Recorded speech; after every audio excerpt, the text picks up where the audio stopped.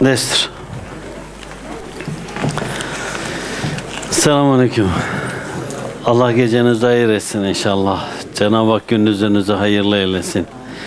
Ayınızı, yılınızı, ömrünüzü hayırlı eylesin inşallah.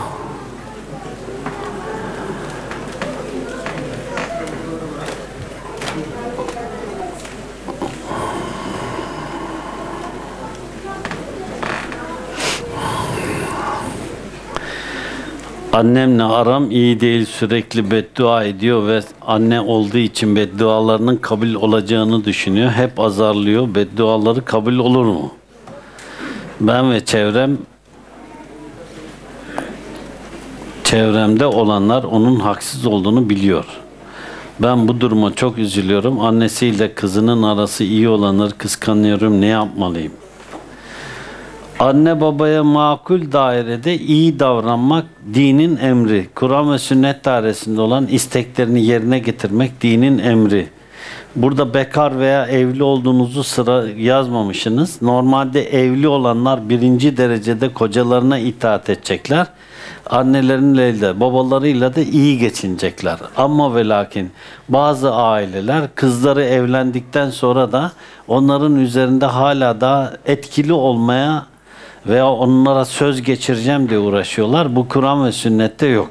O yüzden normalde çocuklar evleninceye kadar bayanlar, erkekler ölünceye kadar anne babalarıyla iyi geçinecekler, onun dualarını alacaklar. Ama bazı anne babalar çocuklarına bu noktada zulmediyorlar. Burası acı, sıkıntılı bir nokta.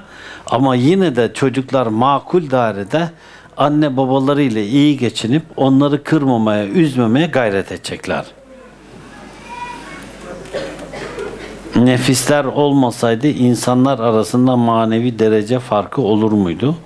Normalde bu yaratılış Cenab-ı Hak böyle yaratmış fıtrat olarak hepimizi ayrı ayrı nefislerde yaratmış. Muhakkak nefisler olmasaydı insanlar kötülük yapmazlardı. O zaman melek gibi olurdu. Melek gibi olunca da imtihana tabi tutulmazdı. Sonuçta insanız, imtihana tabi tutulacağız. İyiliklerden ve kötülüklerden sorumluyuz. Nefsimiz kötülük isteyecek, bazen iyilik isteyecek, kah esecek yerler gibi, kah coşacak seller gibi. Bunların içerisinden biz Kur'an ve sünnet dairesinde duraraktan bu dünya hayatını sonlandıracağız. O yüzden biz olmasaydık öyle mi olurdu, nefis olmasaydı böyle mi olurdu bunları düşünmeye gerek yok. Biz anı yaşayalım. Bugün nefes alıyorsak, bugün bu nefesimizi neyle harcadık, nerede kullandık? Ona bakalım kendimizce kendimize bir düzen, bir sistem oturturalım inşallah.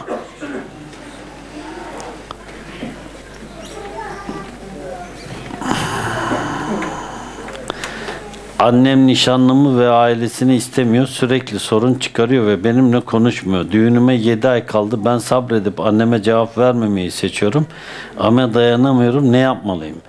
Bakın gençlere tavsiyem. Bizim toplumumuzda eğer anne baba bir erkeği veya bir kadını istemiyorsa o evde dirayetin kurulması, mutluluğun kurulması çok zor. Erkek çok dirayetli, çok siyaset sahibi olursa diyelim ki onun eşini kendi annesi babası çok beğenmiyorsa o açığı kapatabilir. Bunlar böyle zor işler. Öyle olunca gençlere tavsiyem şu kendi kafanızdan evleniyorsanız bu mücadele zor, çetin bir mücadele. Bu yolu tek başınıza aşmanız, tek başınıza götürmeniz dirayetli bir kimse için mümkün olabilir. Ama erkek veya kadın bu noktada dirayetli değil ise bunda sıkıntı olabilir.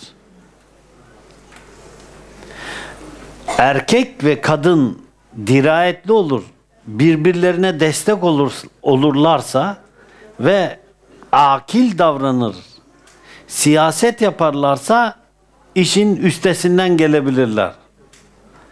Ama öbür türlü bunun üstesinden gelmek biraz güç. Ön tarafa doğru yanaşıverin. Arka taraf bir şey olsun. Herkes bir iki dizinin üzerine çıksın. Ha.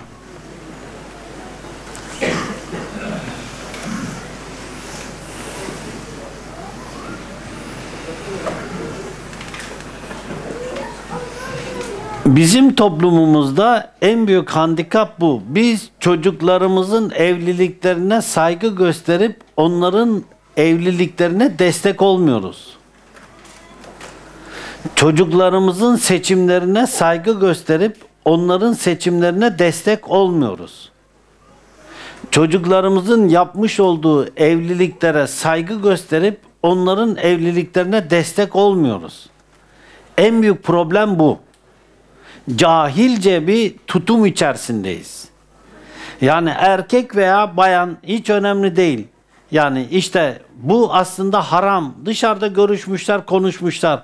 O zamana kadar aileler, anneler, babalar çocukların bu tutumlarına karşı siz bu haramı nasıl işlersiniz deyip önlerine çıkmıyorlar.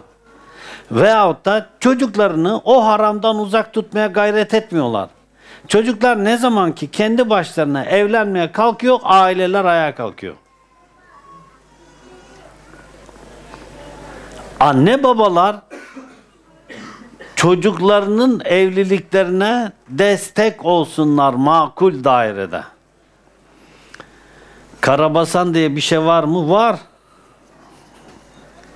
Bastın mı hepimizi burada?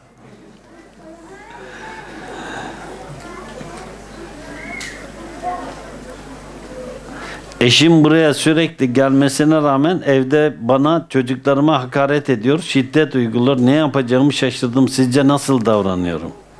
E, laf biraz ağır ama yerine oturuyor bazen. Neydi? Merkep hacı olmaz gitmekle Mekke'ye, herkes derviş olmaz gitmekle tekke'ye. E buraya herkes gelir ama herkes derviş olmuyor. Kıymetli dostlar, dervişlik güzel ahlaktır. İnce ahlaktır. Eşini dövmek, çocuklarına şiddet uygulamak, hakaret etmek, insanları küçümsemek ki bu eşinse, çocuklarınsa bu insanlık değil önce.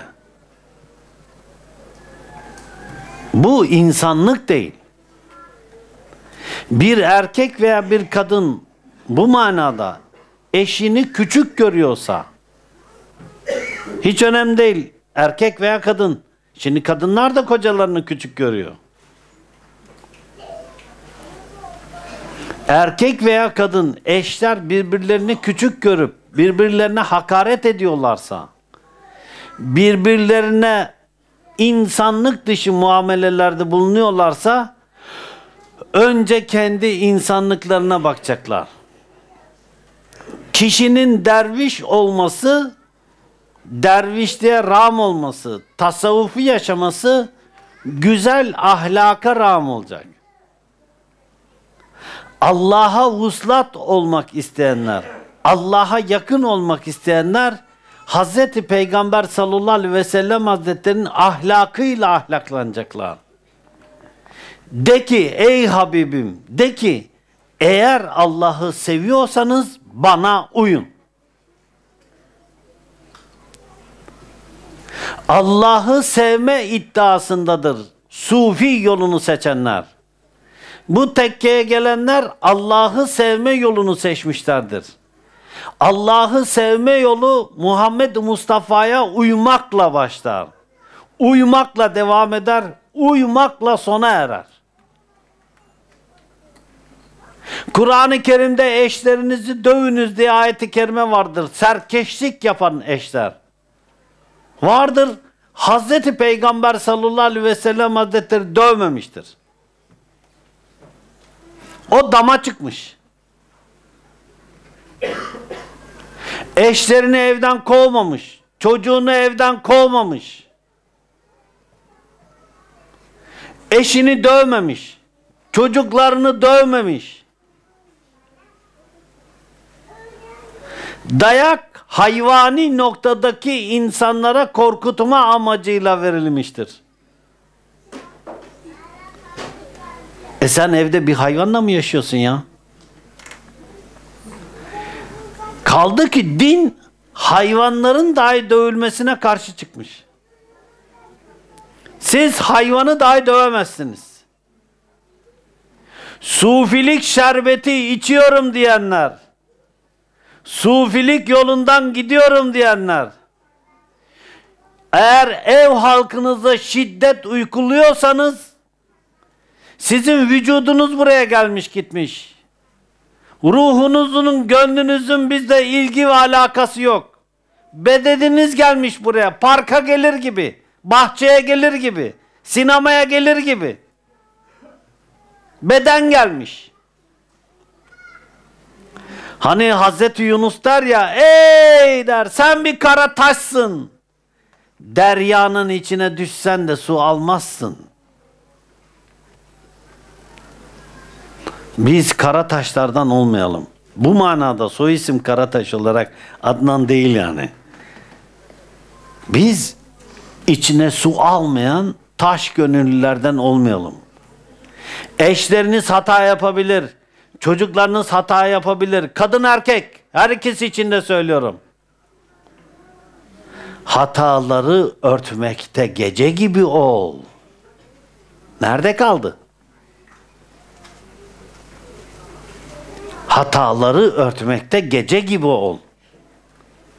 Evet biz çocuklarımızı doğru yetiştirmeye gayret edeceğiz. Elimizin altındakilerden sorumluyuz. Onların doğru bir hayat yaşamaları için gayret göstereceğiz. Ama bu dayakla değil. Kadınlar siz de eşlerinize karşı iyi muamelede bulunun. Erkekler de sizlere karşı iyi muamelede bulunsunlar. Ama erkekler unutmayın. Kadınlarınız size Allah'tan bir emanettir. Kadınlarınız size Allah'tan bir emanettir. Emanete riayet edin, hıyanet etmeyin. Emanete iyi bakın. Emaneti bu noktada yerli yerinde kullanın. Ve bilin ki o size Allah'tan gönderilmiş. İman etmediniz herhalde. İman ettiysen Allah'a eşin sana Allah'tan gönderilmiş bir emanet. Daha ne lazım ki? Ey iman edenler iman ediniz. Bu sebepten dolayı. Ey iman edenler iman ediniz. Allah'a iman ettiysek bir emanet var. Kimin? Allah'ın ya. Elinizde Allah'ın emaneti var. Sufi böyle düşünür. Elinde Allah'ın emaneti var. Elinde Allah'ın emaneti var. Sabaha kadar tefekkür etsen işin içinden çıkamazsın. Allah'ın emanetine nasıl tokat vurabiliyorsun? Allah'ın emanetine nasıl hakaret edebiliyorsun? Allah'ın emanetine nasıl tepeden bakabiliyorsun? Allah'ın emanetini nasıl üzüp kırabiliyorsun? Allah'ın emanetini nasıl hor hakir görüyorsun? Bu nasıl sufilik? Bu nasıl müminlik? Bu nasıl Allah'a iman etmek? Dostlar, iman ettik öyle değil mi? Din sadece namaz için mi? Oruç için mi? Örtü için mi? Sakal için mi? Cübbe şalvar için mi?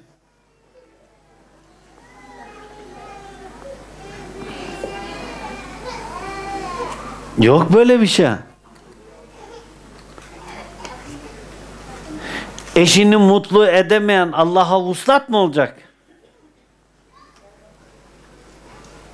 Eşinin yüzünü güldüremeyen Allah'ın mı yüzünü güldürecek? Allah bizi affetsin. İman etmedikçe cennete giremezsiniz. Birbirinizi sevmedikçe iman etmiş olmazsınız. Hadis-i şerifin mucibince kimleri sevip kimleri sevmeyiz.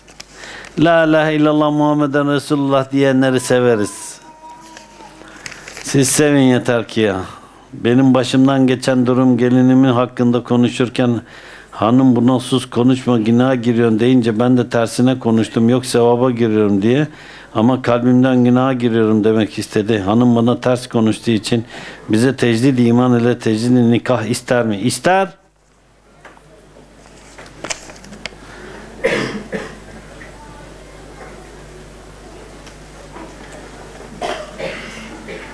Hocam erkeğim kaşımın ortasındaki tüyleri alıyorum çok kötü duruyor caiz mi? Caiz. ABD'li iki bilim insanı beyin ve kalp durmuş kanınız çekilmezse yani ölmüşsünüz tekrar yaşama döndürüleceğiniz döndürülebileceğinizi açıkladı. Ölüyü diriltecek yöntem şu şekilde anlatılıyor. Ölümün ardından beden 20 derece soğutuluyor. Kanserin fizyolojik değiştiriliyor. Vücuttaki hasar giderilip kan yine bedene pompalanıyor. Kalp tekrar atıyor. Gözler açılıyor. Yaşam devam ediyor. Soru üstadım siz ölüyü diriltme hakkında ne düşünüyorsunuz? Ölüyü diriltme değil o. Cenab-ı Hak bir şey normalde ölüme çare yok daha.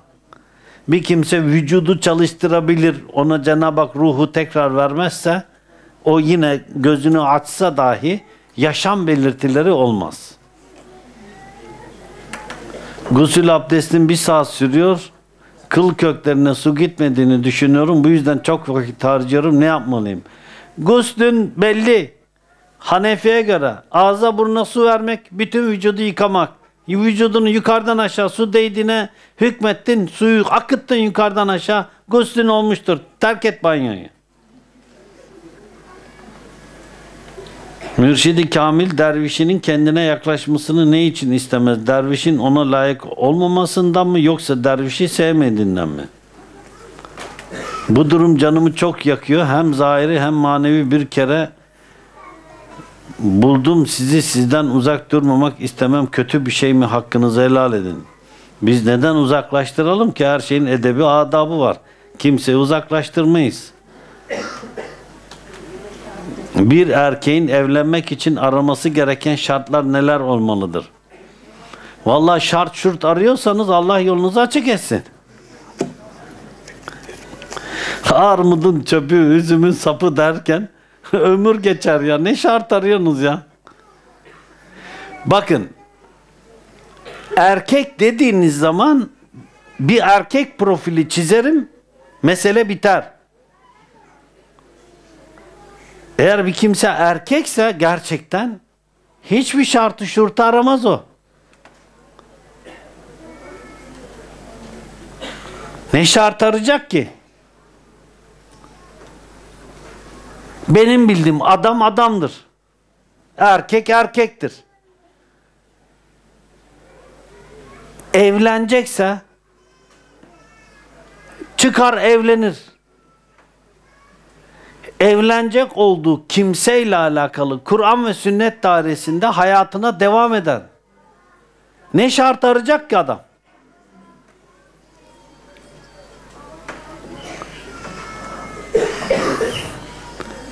Kadın kendince arar. Arasında. Arasın. O da kendi şartlarına uygun birini bulsun.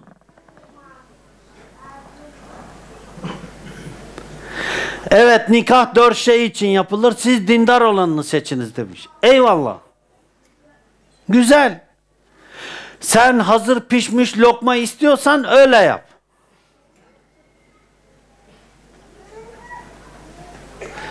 Sen al o her şeyi öğrenmiş bir hanım al. Harika. Sen nereye kadar onunla geçinebileceksin?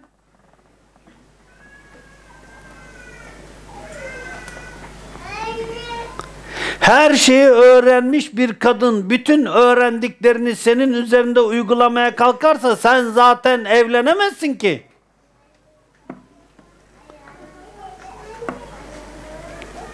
Biz sanki çok dindarmışız gibi erkekler olarak söylüyorum. Çok dindar bir kadın arıyoruz.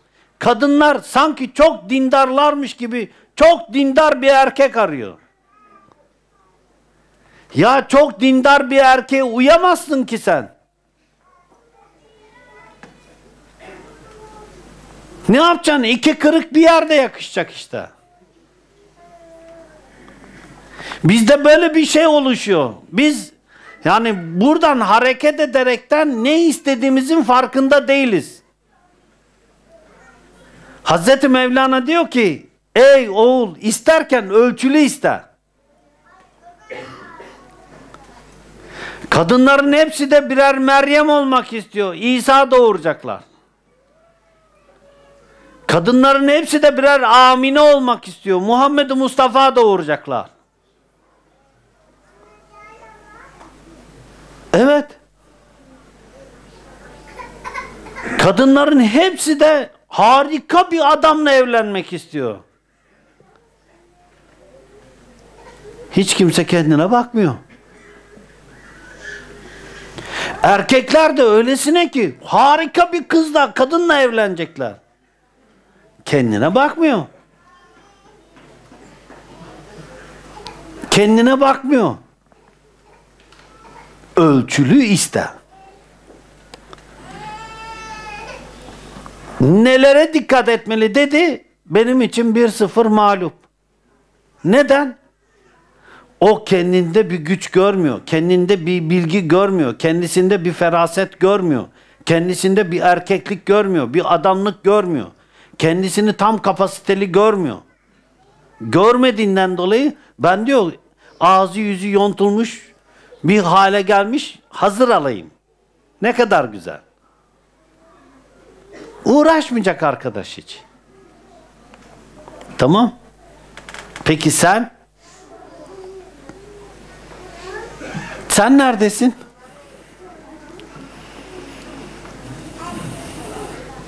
Makul dairede kendinizce, kendi seviyenizde makul evlilikler yapın.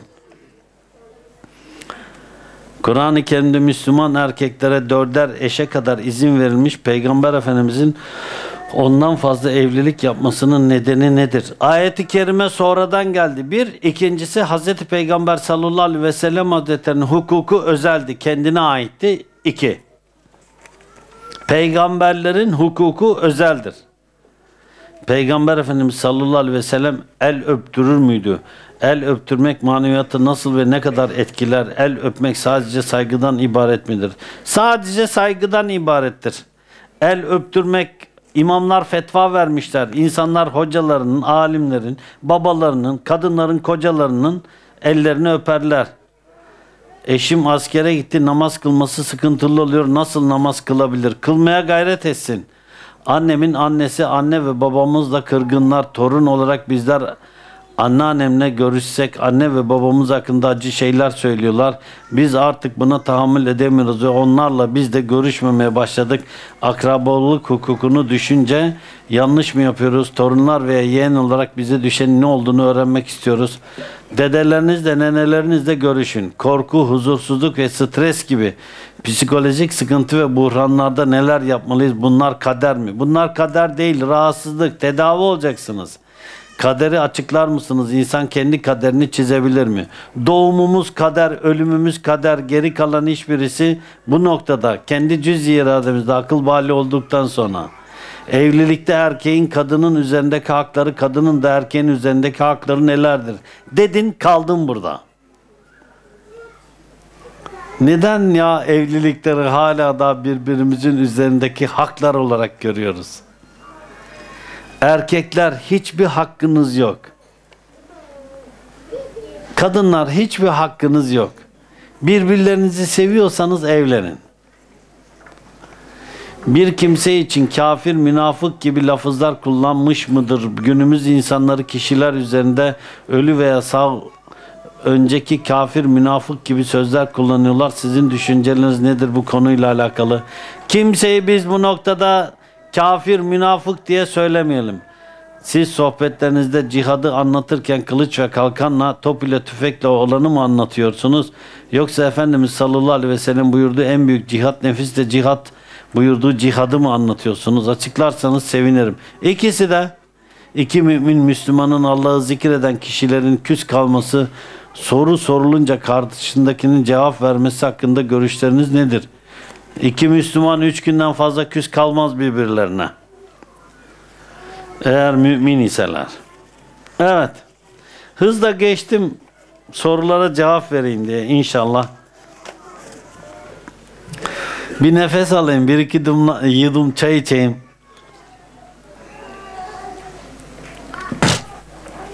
Bu sorularla alakalı çünkü tehdit aldım az bir şey. Başına kaskla gel dediler yani başım yukarı vuracak gibi baktım öyle yok. Oraya kadar zıplamam herhalde ben. Kilom ağır. Tevhidi şeytandan öğrenmeyen kafirdir. Ahmet Gazali. Tek tanrı inancı insanlık düşüncesini fakirleştirmiştir diyen İskoç asıllı ünlü filozof David Hume'nin görüşünün aksine dinler gerçekte insanlık düşüncesini zenginleştirmiştir.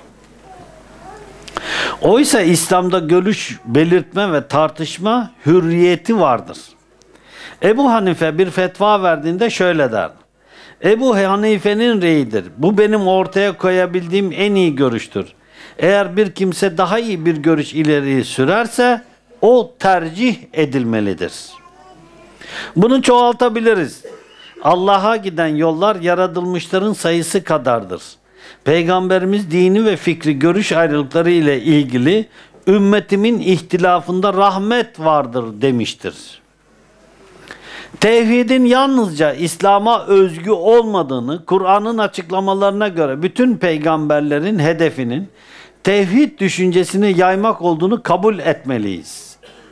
İnsanın Tanrı'ya karşı hissettiği duygusal ihtiyaçlarından biri bütün varlıkta bulunan mutlak bir güç, güvenli bir sığınak ve belli bir kutsal yön ve mana hissidir.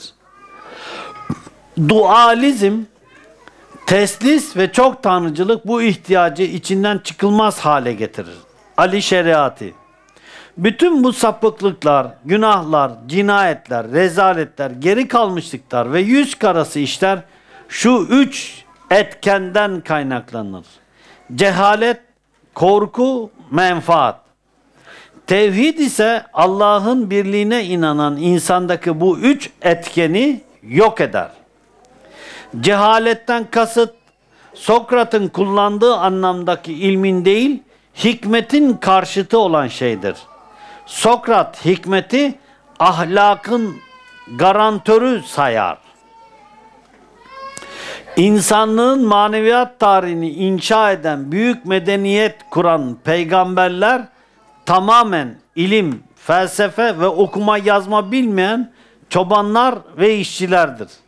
Kur'an'ın peygamberlere olumlu bir nitelik olarak nispet ettiği bu ümmü sıfatı çok derindir. Son peygamberin ansiklopedik bir bilgin, seçkin bir deha olması gerekirken o mektep, medrese, ilim ve felsefeden mahrum, okuma yazma bilmeyen biriydi. Bir tarafta Ali, Ebu Zer, Köle Bilal, Afrikalı Zenci Sümeyye, Hurmacı Veysel, diğer yanda İbn Sina, Razi, Kindi, İbn Mukaffa, onlarda olup bunlarda olmayan nedir? Farabi, İbn Rüşd, İbn Hindu ve bunun gibiler hikmeti hem bir disiplin hem de bir düşünce tarzı olan felsefeyle aynı görmüştür. Oysa her hikmet felsefedir. Fakat her felsefe hikmet değildir. Hikmet Kur'an'ın her yerinde doğru bilgi, bilinç ve gerçek tanıma anlamında kullanılmıştır. Mütevatir bir hadiste Tirmizi ilim 19 İbn Mace Zühd, Zühd 17 hikmet müminin yitiğidir buyurulmakta. İslam alimleri felsefe karşısında iki düşman gruba ayrılır. Fakihler ve arifler. Bir yana, filozoflar diğer yana. Hikmeti Yunan felsefesiyle aynı manada kullanan filozoflar onu meşai felsefesinin varistoculuğun haklılığının bir delili saydılar. Halbuki o çağda İslam peygamberi Yunan felsefesi lehine şöyle bir sözü söylemesi nasıl mümkün olabilir? Hikmet müminin yitiğidir nedir? Bu yazı alıntılar içerir. Hikmet tarih boyunca peygamberlere büyük bir kısmı meccanen verilen ve o peygamberlerin bir vazife, bir görevle bütün insanlara öğretmeye çalıştığı varoluşun sebebi varoluşun gerçeğidir. Bu manada hikmeti Allah'ın yeryüzüne insanlar için indirmiş olduğu bilgi topluluğu veyahut da bir insanı insan eden bütün ilimlerin bütün var olan var olan her şeyin topluluğudur. Biz hikmeti ilmin üstünde tutarız. Çünkü ilim sadece bilgilenmekten geçer. Hikmet ise bu bilginin üstünde bir şeydir. Hikmet sadece bilmek değildir. Hikmet o bilgiyi aktif etmek, o bilgiyi yaşatmak, o bilgiyi hayata döndürmek, o bilgiyi kinetik enerjiye döndürmek, duran enerjiden hareket eden enerjiye döndürmektir. Hikmet bir bakıştır. Hikmet bir duyuştur. Hikmet kalpten gelen ilhamdır. Hikmet rüyadır. Hikmet dört göre dört on altıdır. Hikmet astrofiziktir. Hikmet Adem Aleyhisselam'dan Muhammed Mustafa'ya kadar gelen her ne kadar bilgi varsa tamamıdır.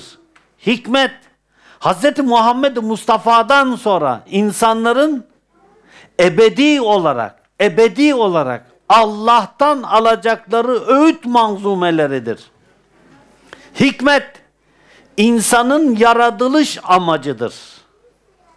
Hikmet Allah'ı anlamaktır. Hikmet Allah'ı bilmenin üzerinde onu yaşamaktır. Hikmet bu manada insanoğlunun yitik malıdır. Aslında Hz. Peygamber sallallahu aleyhi ve sellem hazretleri müminin yetik malıdır. Çin'de de olsa gidiniz alınız dediği şey bu manada Müslüman için, mümin için olması gerekendir.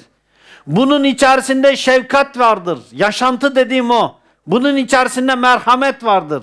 Bunun içerisinde insanlığa saygı, dünyaya saygı, varlığa saygı. Bunun içerisinde hayvana, ota, böceğe, çiçeğe, taşa, toprağa, meyveye, var olan bütün her şeye saygı, hürmet, şefkat, merhamet, sevgi hepsi de hikmetin içindedir. Çıplak bir bilim şefkatsiz, merhametsiz, insanlıktan uzak bir bilim Hiroşima'ya bomba atar. Atom bombası atar, atom bombasıyla oradaki varlığa en büyük ihaneti ve en büyük darbeyi vurur. Bilim oturur kediden köpek üretmeye çalışır. Fıtratı bozar. İçinde şefkati, merhameti, Allah inancı, sevgisi yok ise, varlığa saygısı yok ise, kediden köpek oluşturmaya çalışır. Çıplak bir bilim, hikmetten uzak bir bilim, erkekleri kadınlaştırmaya çalışır. Hikmetten uzak bir bilim, kadınları erkekleştirmeye çalışır. Hikmetten uzak bir bilim, insanın varoluş fıtratını ve dünyanın varoluş fıtratını değiştirmeye çalışır. Ne yazık ki dünya üzerinde dünya üzerinde peygamberler peygamberler hikmeti peygamberlere karşı gelenler ise çıplak bilimi çıplak bilgiyi savunmuşlardır. Oysa çıplak bilgi hiçbir zaman hikmet olmamıştır. Ve insanoğlunun hep başına çorap örmüştür.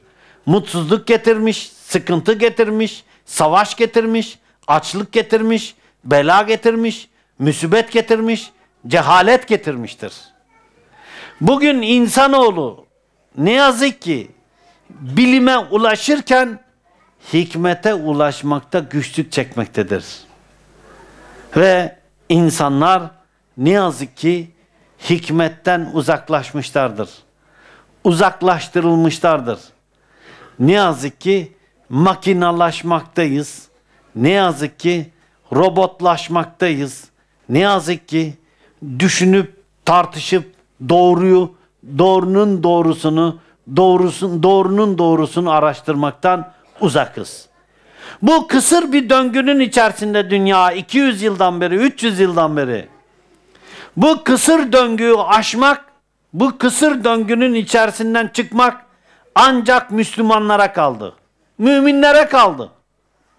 Bunu artık batıdan beklemeyin. Batı kendisini hikmete rahmetmedi. Batı bilgiyi çıplak olarak aldı ve onu çok baskıcı bir şekilde kullanıyor. Tabiri caizse bilgiye ulaştı. Bilgiye ulaşınca o bilgiyle bütün insanları hegemonist bir yapının içerisinde köleleştirmeye çalışıyor. Buna karşı çıkacak olan hikmettir.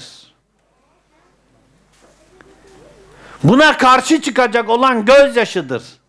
Buna karşı çıkacak olan şefkattir, merhamettir, muhabbettir, sevmektir, kardeşliktir. Buna karşı çıkacak olan sevgidir. Buna karşı çıkacak olan insan sevgisidir, Allah sevgisidir. Buna karşı çıkacak olan hayvan sevgisidir, çocuk sevgisidir. Çok tuhaf gelecek size. Yeşil sevgisidir, meyve sevgisidir, sebze sevgisidir. Natural toprak sevgisidir. Natural insan sevgisidir. Natural kardeşlik sevgisidir. Natural arkadaşlık sevgisidir. Natural eş sevgisidir. Natural kadın sevgisidir. Natural erkek sevgisidir. Natural, otantik. Kalpten doğan. içten doğan bir duygudur. Yoksa insanlar batının bu bilim üstünlüğünün altında esir kalırlarsa bilin ki, bilin ki sevgiden, merhametten, şefkatten, insanlıktan uzak bir insanlık geliyor. Ama bunun biteceğine inanıyorum. Müslümanlar yenilmişliklerinin sendromunu atlatır ve bilginin karşısında yenilmişliğini bir kin haline getirip etrafa kinlenirlerse bu hikmete sahip olamazlar.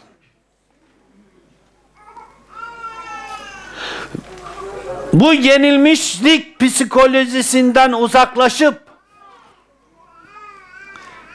birbirlerimizi sevmedikçe, insanları sevmedikçe biz hikmeti ayakta tutamayız.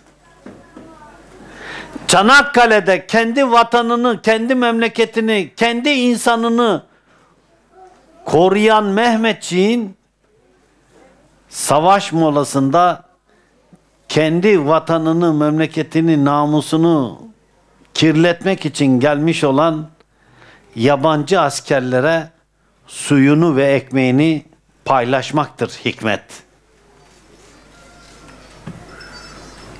Hikmet sana zulmetmeye, seni öldürmeye gelen bir kimseye merhametle, şefkatle yaklaşmaktır hikmet. Hikmet Adem'in şehit olan çocuğu gibi davranmaktır.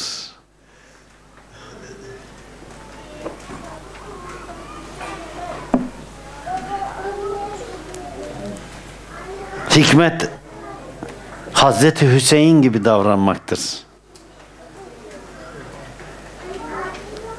Hikmet Hazreti Hasan gibi olabilmektir.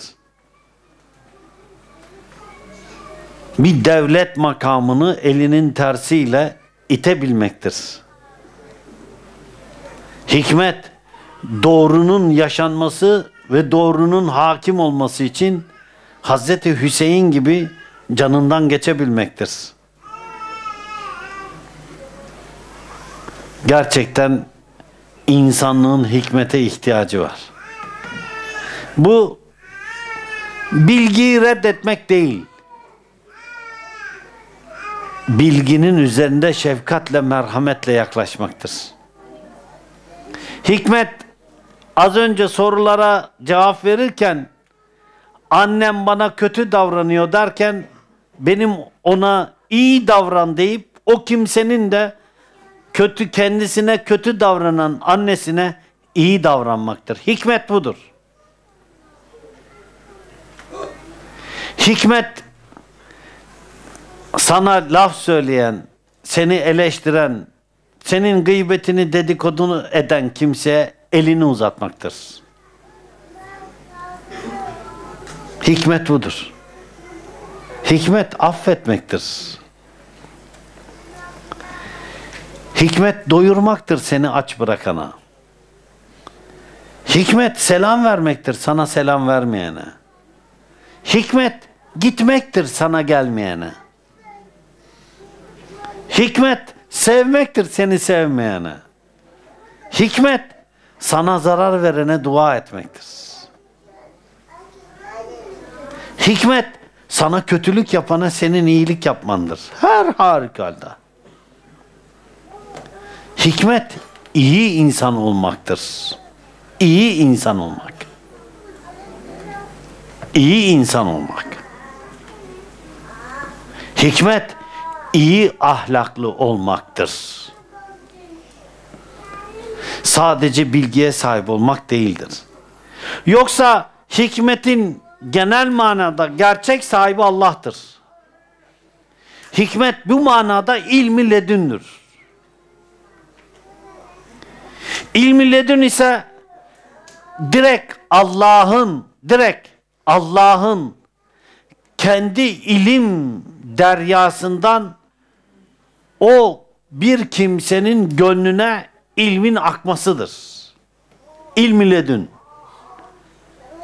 Eğer siz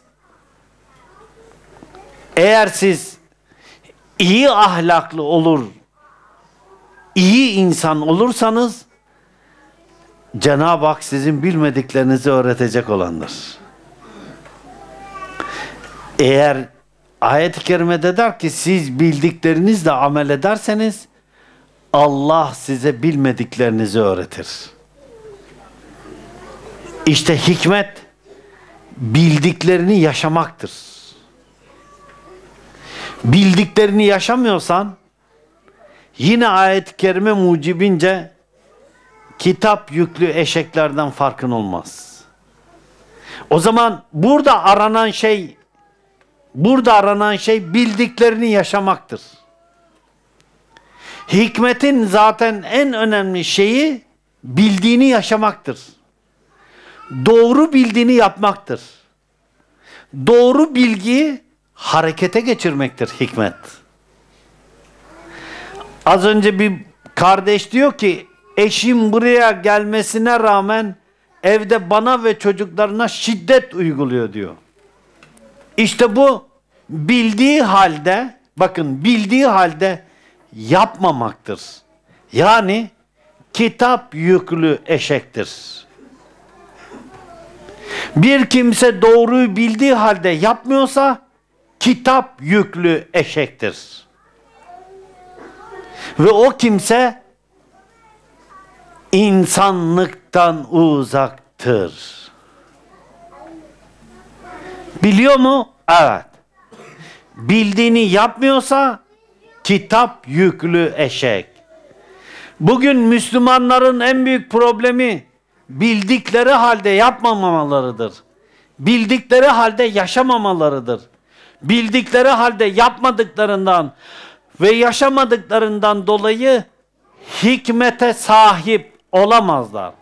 Hazreti Peygamber sallallahu aleyhi ve sellem hazretleri 40 gün sabah namazına kalkan bir kimsenin Cenab-ı Hakk'ın o kimsenin kalbine kendi hikmet pınarından akıtacağını söyler.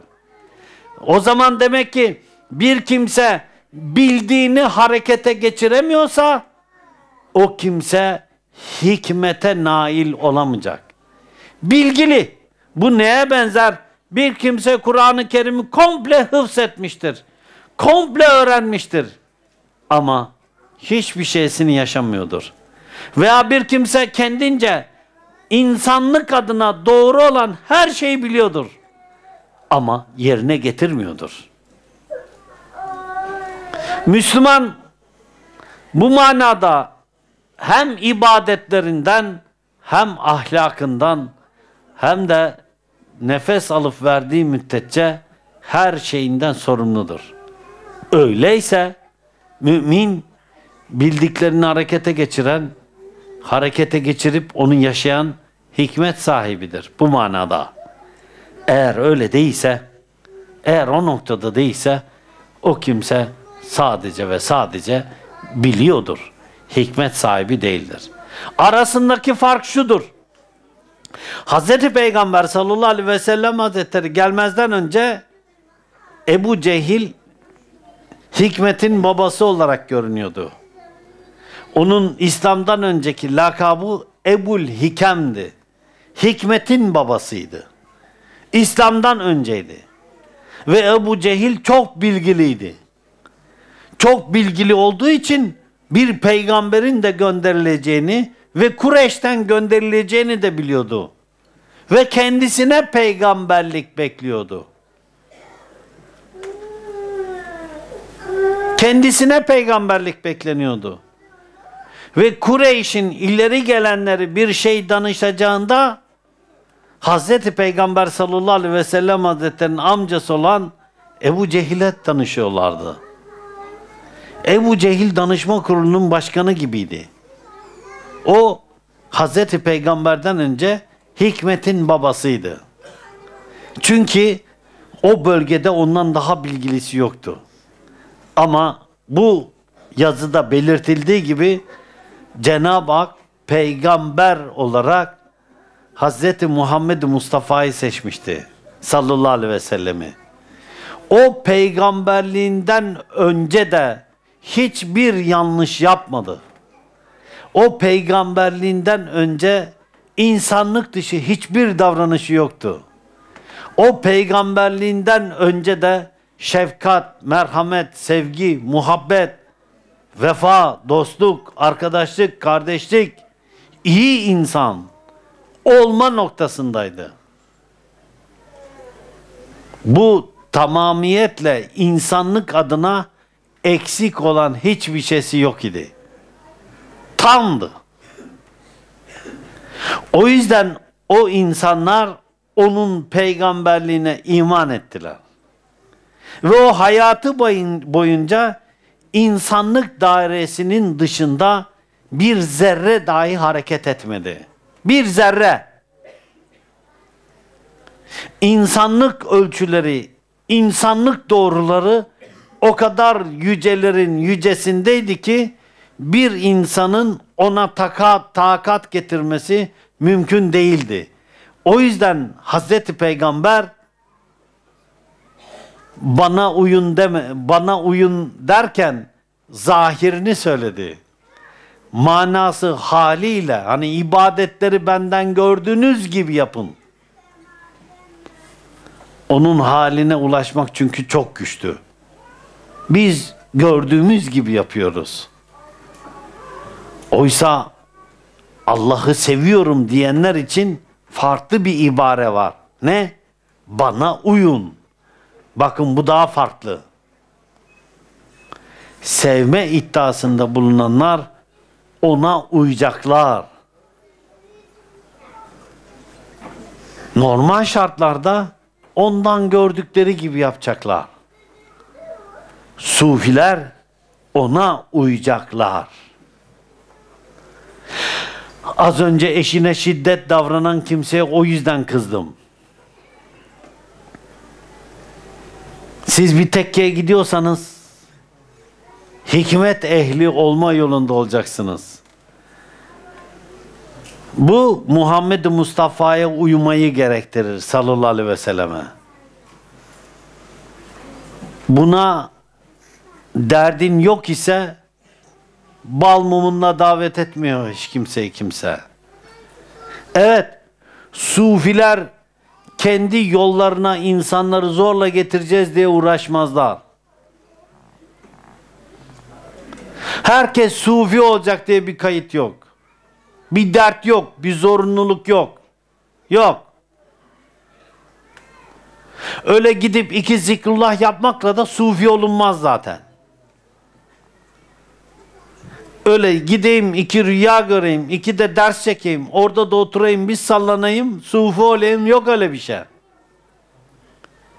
Sufi olma yolunu seçenler Muhammed Mustafa'yı sallallahu aleyhi ve sellem hazretlerine uymayı göze alacaklar. Bu yol ona uyma yoludur. Hikmet yoludur. Hikmet, hikmet. Bu manada Muhammed Mustafa'nın haliyle hallenme ona uymadır. Ona uymadır. Bir kimse ona uyda uyabildiği kadar hikmet sahibidir. Af edebildiğin kadar hikmet ehlisindir. Hataları örtebildiğin kadar hikmet ehlisindir. Yanlışları düzeltme gayretinde bulunabildiğin kadar hikmet ehlisindir. Açları doyurabildiğin kadar hikmet ehlisindir. İhtiyacı olanların ihtiyaçlarını görebildiğin kadar hikmet ehlisindir. Haramlardan uzak durabildiğin kadar hikmet ehlisindir. Allah'tan alabildiğin ilham kadar hikmet ehlisindir. Bu satırdan okumakla değil, bu sadırdan okumakla mümkündür. Bu içten okumakla mümkündür. Bu dıştan okumakla mümkün değildir. O yüzden tarih boyunca bütün insanlar doğrunun doğrusuna, doğrunun doğrusuna, doğrunun doğrusuna ulaşmak için gayret etmişler ve insanlar doğru nerede? Ben nereden doğru daha doğru öğrenebilirim diye yollara düşmüşler. Nereden doğru öğrenebilirim diye yollara düşmüşler. Doğruya ram olmuşlar. Bunun için seyahatler etmişler. Bunun için o doğru bildikleri kimselerin önünde gidip doğrularını öğrenebilmek için talebe olmuşlar. Biat etmişler. Bunlar sahabeden de örnekler vardır. Efes'e kadar gelir malum. Efes'ten Şam'a gider. Kim? Sahabelerden Türk. Cennetle müjdelenen. Ben Resulullah'ın ehli beytiyim diyen.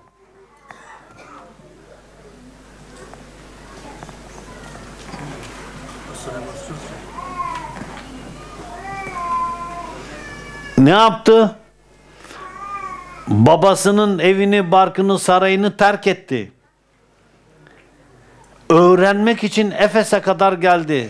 Efes'te bir papazdan ilim öğrendi. O papaz ölmezden önce onu kime yönlendirdi? Şam'da ayrı bir papaza. Şam'da ayrı bir papaza gitti. Onda da yıllardır ilim öğrendi. Ya Selman-ı Farisi. Ondan sonra Şam'da yıllarca ne yaptı? Onda ilim öğrendi. O onun aradığı hikmetti. Ve Şam'daki papaz ölmezden önce dedi ki sen öğrenebilecek olduğun her şeyi öğrendin. Şimdi git dedi. Mekke'de bir peygamber çıkacak. Adı Ahmet olacak.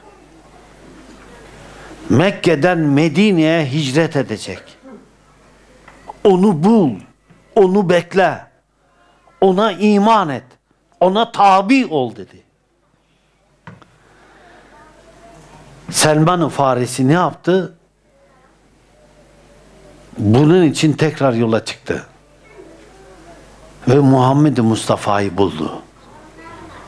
Selman-ı Farisi sulpten yani kandan damardan değil yoldan gelen ehli beyttir. Hazreti Peygamber sallallahu aleyhi ve sellem hazretleri ona da o müjdeyi verdi. Sen de benim ehli beytimsin dedi. O niçin? O çünkü hikmetin çocuğudu. O Allah'ın insanlara emanet ettiği hikmet sahibi idi. Ve hikmetin babası insanların içerisinde Muhammed Mustafa'ydı sallallahu aleyhi ve sellem hazretleri. Selman-ı Farisi'yi ehli beytim diyerekten ona hikmet olarak o yoldan yürüdüğünden dolayı onu ne yaptı? Ehli beytinin içine kattı. Dedi ki sen de benim ehli beytimsin.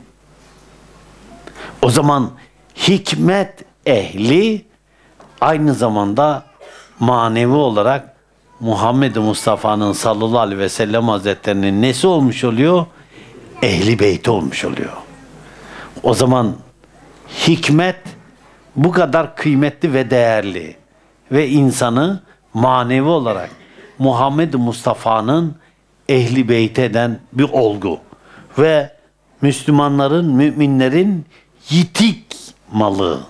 Yani Müslümanlar ona sahip olmalı. Yitik mal bu ne demek? Kaybedilmiş. Hazreti Peygamber sallallahu aleyhi ve sellem hazretleri ümmetinin ahir zamanda düşecek olduğu noktayı sanki ayağın beyan bize göstermiş. Müslümanların, müminlerin, daha doğrusu ayet, e, hadis-i şerif müminlerin der, Müslümanların demez. Mümin olanların. Nesiymiş? Yitik malı. Yani kaybettikleri malı. Kaybettiklerinizi tekrar kazanın. Arayın, bulun, hikmete ram olun. Yolu iman edip iyi amel işlemekte. Yolu iman edip haramlardan uzak durup insanlara ve etrafına en temel noktada hiç zarar vermemekten geçiyor. Allah bizi o yolda olanlardan eylesin. Cenab-ı Hak cümlemizi affetsin. Cenab-ı Hak cümlemizi korusun. Sürçülisan ettiysem af ola. Cenab-ı Hak cümlemizi umduklarına nail eylesin inşallah. El Fatiha selamat.